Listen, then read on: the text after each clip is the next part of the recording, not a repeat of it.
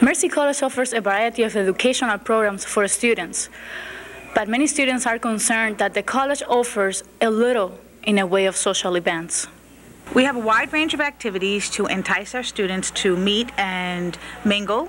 Um, uh, extracurricular activities. Uh, we often do noontime activities, probably once or twice a month, uh, in the cafeteria so we can get the biggest bang for our buck. Advertising at Mercy is conveyed through the posting of flyers and the college website, Pipeline. There's not really many events going on at Mercy College. They don't do anything really, so Mercy's pretty, pretty boring.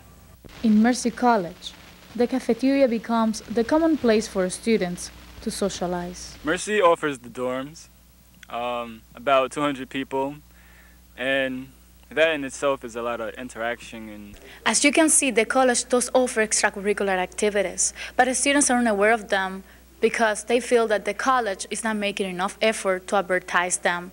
Reporting from Mercy College, saira Campos.